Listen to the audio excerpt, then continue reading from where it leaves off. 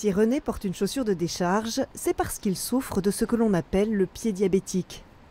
Docteur, bonjour. Bonjour monsieur, installez-vous.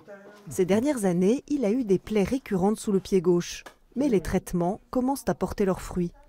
Donc l'endroit où le patient avait une plaie chronique, c'était ici, et on voit qu'il est parfaitement cicatrisé. Alors je vous rappelle comment vous étiez il y a quelques mois, avec ce, ce mal perforant plantaire typique, en pleine zone d'appui, qui était multirécidivant. Si cette plaie impressionnante a pu s'installer, c'est parce que René souffre de neuropathie périphérique. Cette atteinte des nerfs due au diabète a rendu son pied insensible à la douleur. La douleur, on sent rien. On ne sent absolument rien. Même, même quand c'est profond, euh, on peut faire des, des, tas de choses, on ne sent absolument rien. Et le temps que moi je me rende compte, il y avait un délai de temps de peut-être de un ou deux mois où la chose s'est aggravée. Quoi. Et donc ça peut aller très très très très loin, ce qui fait que les, les patients arrivent souvent euh, beaucoup trop tard et on peut être amené euh, à être obligé de les opérer et parfois de les amputer à cause d'une infection sévère.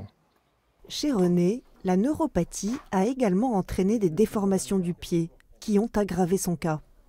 L'endroit où se font euh, les maux perforants, il, il, se trouve ici, et on voit bien qu'il y a une espèce de verticalisation de cette articulation métatarsophalangienne qui est probablement responsable d'un hyperappui qui lui-même entraîne un risque majeur de plaie euh, lors de la marche. René a d'abord été plâtré pour que la plaie cicatrise, puis il a été opéré pour redresser son pied.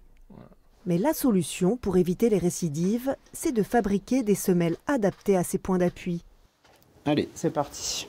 Le podologue réalise des tests podobarométriques dans le but d'analyser les pressions sous la voûte plantaire.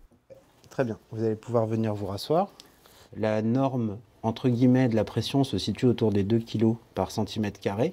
Et là, en l'occurrence, ben, sur la zone médiane, on a 8 kg de pression. Pour protéger cette zone centrale, on va déformer la semelle 3D pour venir créer une pression qui va décharger l'avant-pied et donc permettre de redescendre cette pression en dessous de 3-4 kg. D'accord. Vous mettez debout en essayant de ne pas bouger le pied. Parfait. On va scanner cette empreinte et ensuite imprimer en 3D les orthèses, qui va permettre d'avoir une semelle qui correspondra à peu près à, à ça. Donc la partie blanche, c'est la partie imprimée en 3D, sur laquelle on va pouvoir rigidifier certaines zones, augmenter certains reliefs pour pouvoir décharger très précisément la zone qui sera nécessaire de décharger. Ah oui, d'accord. René aura également droit à une nouvelle paire de chaussures orthopédiques, réalisée à partir d'un moulage de ses pieds. Gardez votre pied bien dans l'air, il est encore un petit peu souple. Hop, parfait. Et on travaillera sur cette base-ci pour créer les futurs volumes de la chaussure.